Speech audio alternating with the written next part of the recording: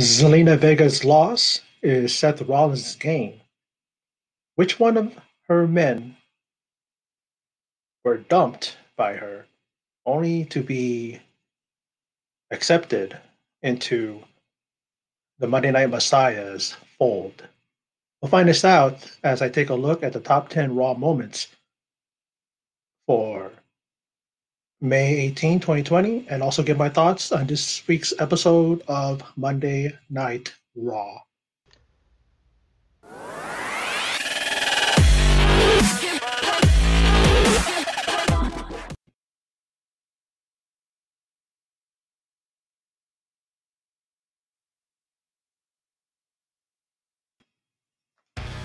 Here we go. Top 10 Raw moments for the May 18, 2020. I guess this last week I said they should do an uh, axe throwing. They did. Viking Raiders, man, they were kicking some ass though. But that's their this is their home turf, right? Of course, you know.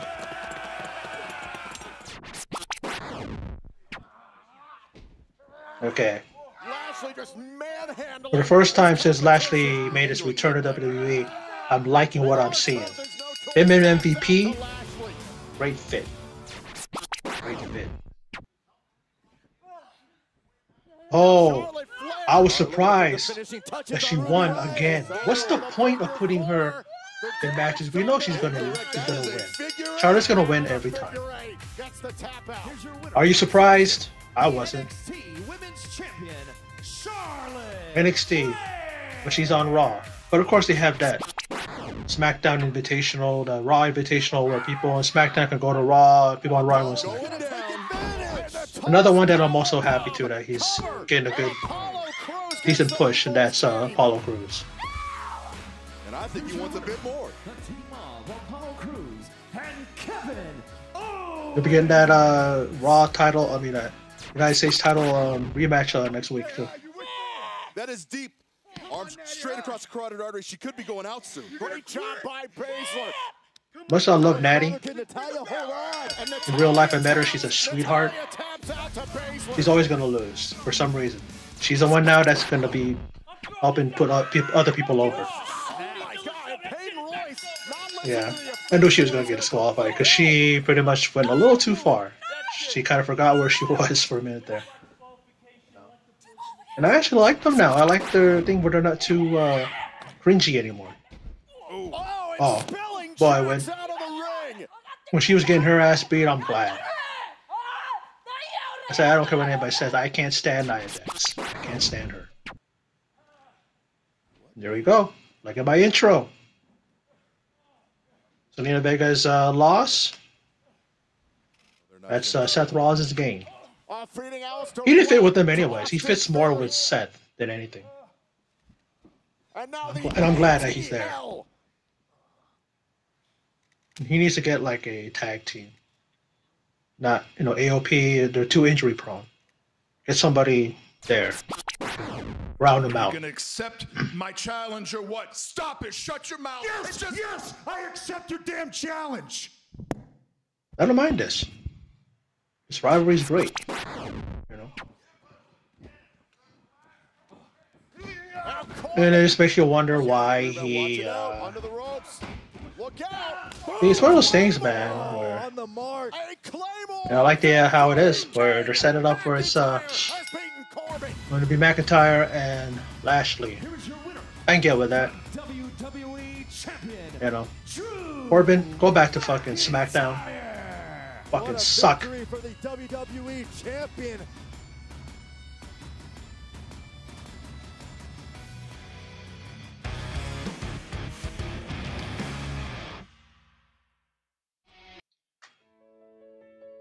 Like I said in the intro, who was the one who lost out pretty much on the whole Austin Theory lottery, if you will. And Seth Rollins is more stronger for it. Don't think that he ever belonged in uh, Zelina Vega's crew there. You know, had nothing to do with the fact that he, the white guy, and they're Mexican. That You know, his style pretty much isn't like their style. He's not he's not a lucha libre type of wrestler. But it just didn't fit. You know, it was a good way for him to get uh, some good heat on him and also to get a pretty good, uh, you know, somewhat of a push that everybody will start knowing who, uh, you know, who he is. But when he got booted out and Angel Garza and Andrade started beating on him, he was still on the ringside. And then comes, uh, you know, Murphy to take on Aleister Black. And then you see Austin Theory is still ringside. It's just like a, a mirror image of what happened with uh, Buddy Murphy, the same thing. And he ends up, Austin Theory ends up getting pretty much the invitation, if you will. He reaches out with that dark gloved hand of his and lifts him up. You saw in the uh, top 10 there, he gives him a big hug, embraces him, and he is now part of the Monday Night Messiah's fold. And where's this going to take him from here? I think that, no offense to Zelina Vega, who I love, she's one of my favorites, but he was gonna not going to go anywhere with them. At least with Seth Rollins, he's more high profile, former WWE champion, former Universal champion. He's held every title known to WWE.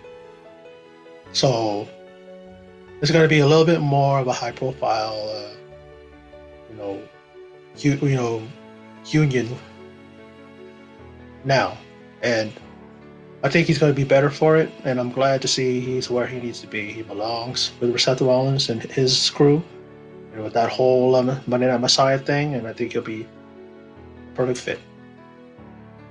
Bobby Lashley.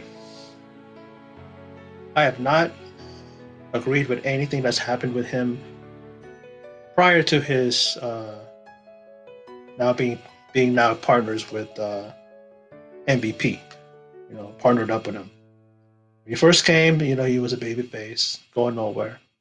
They thought they were going to saddle him up with Lana, went nowhere. And again, she needs to stop with the whole yelling because yeah, she can yell and be upset that MVP is taking uh, Lashley away from her. Pretty much saying, don't hang out with that girl because she's bringing you down. But when she screams, you know, CJ Perry, who plays Lana, stop with the over yelling. You can yell, but she yells and then she goes up another notch and another notch. And I'm going, who are you yelling at? You know, you're not in a whole big crowd of people that you yell, you gotta yell louder so that the people in the cheap seats can hear you. It's, and she's backstage. Who's she yelling at? Why does she have to yell so loud? It's like, as you can hear her when she's yelling, and then she goes up another notch, and then another notch, and I'm just like going, "What are you doing? You know, you got it. You're mad. You just you just have to yell. You know, it's it's it's I don't know. It's uh, I could be nitpicky, but it's annoying, and I'm glad that I'm glad that she has nothing to do with Lashley right now. Now it's just a whole thing of like her playing, pretending to be his um his wife and things stuff like that. But man, this is the first time I've ever seen Lashley, and I'm liking what I'm seeing. Putting him in the ring now, uh, uh in a rivalry with Drew McIntyre, I can dig it. I can get with it because Lashley is looking good. It looks like he's gotten in better shape. He's focused, laser focused.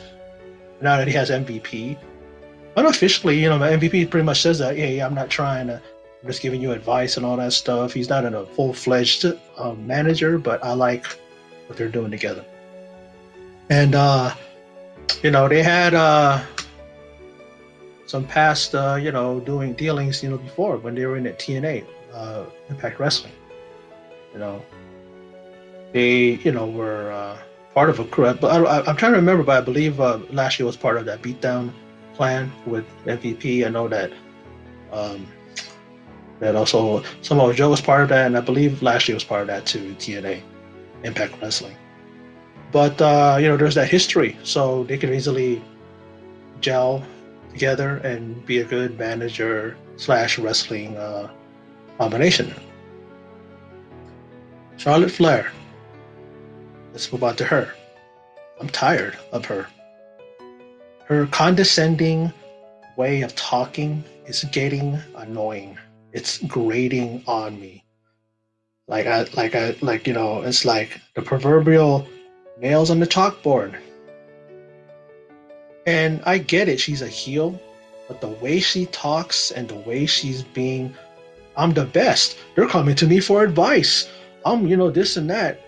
It's getting to the point where it's like, she's starting to really believe her hype? Is Ashley Flair, you know, who who is Charlotte's real na- name and who she was born with, her name and everything. That's her name when she was born with. Is she starting to believe herself, believe her hype?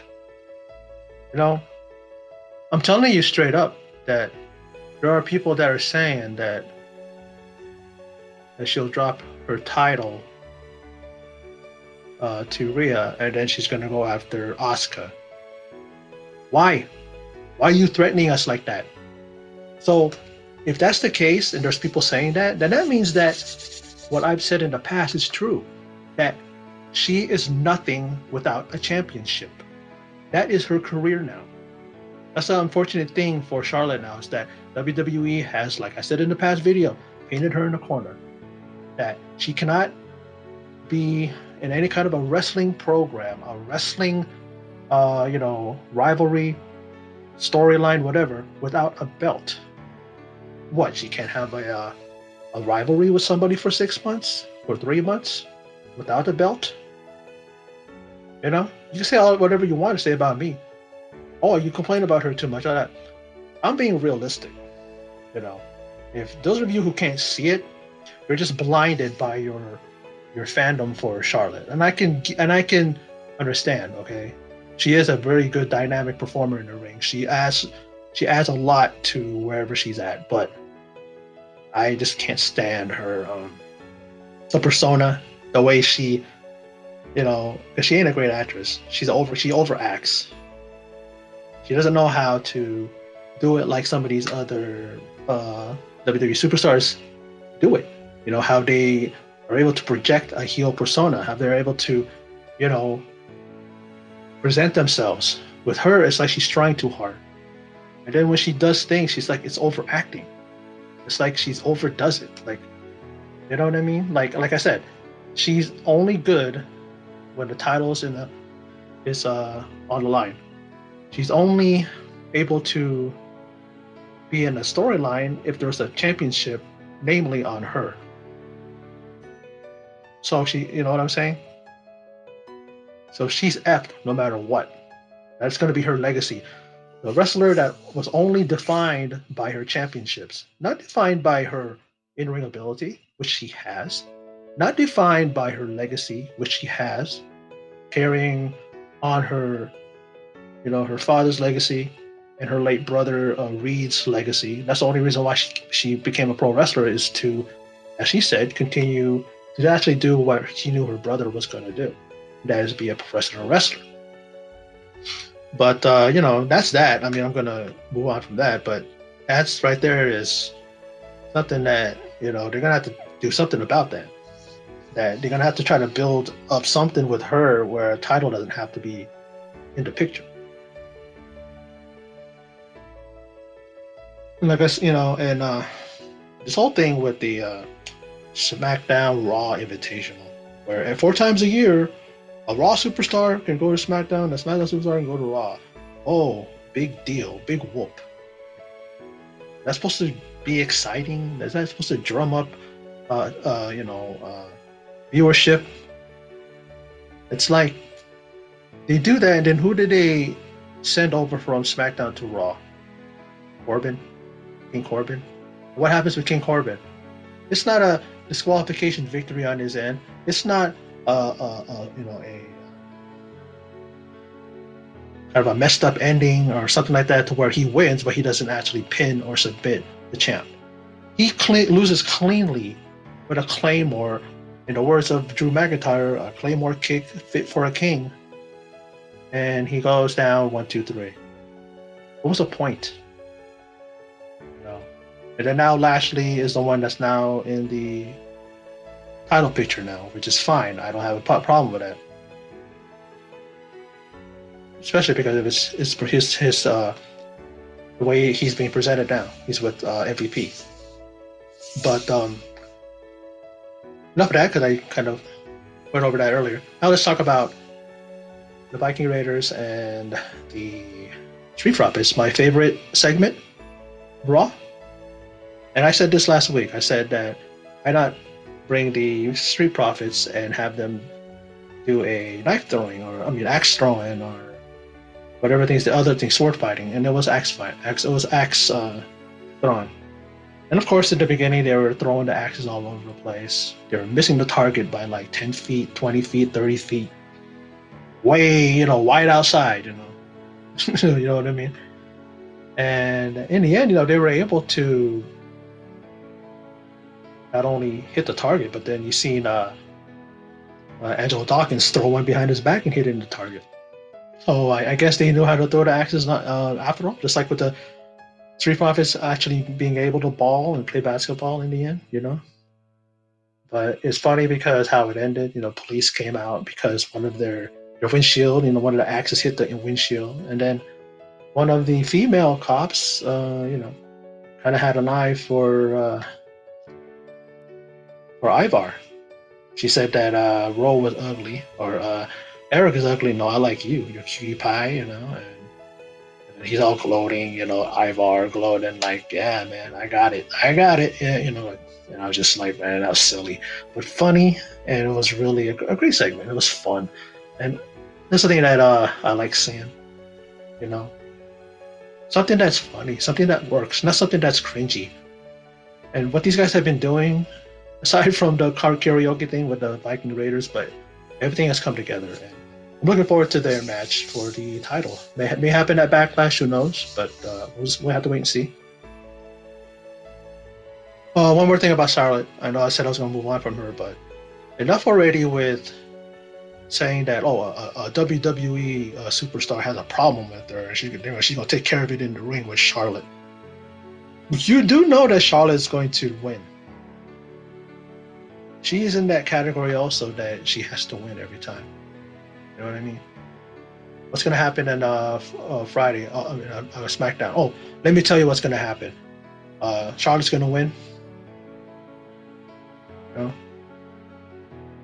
Unless something's going to happen where it's going to further the feud with uh, Sasha and Bailey. We have to wait and see. But it's getting, it's getting tiring. It's I'm, I'm getting tired of seeing her. And one more thing before I uh, close this uh, video of mine, and that is the Raw Women's Championship picture. And apparently, Nia Jax is the next opponent, the next challenger. Kairi Sane. Well, I must say, Kairi Sane has a grasp on the English language. When she talked, her voice projected really well, and she said every English word like she has been saying it for her whole life. I don't know if WWE has told these guys to emphasize your your Japanese accents more and talk like you don't really have a full grasp on English because it's funny because I remember I think it was when she, when Asuka made her main roster uh, you know her debut on her main roster as the weeks went by she started talking perfect English I think she, I think even was um, and she was in NXT as well. But I remember that, and then all of a sudden she's talking like she doesn't know how to speak English. You know, and it just surprised me how well Kairi Sane was was was uh, you know talking English. Maybe she's been practicing her English more. I don't know. She has been gone for quite some time.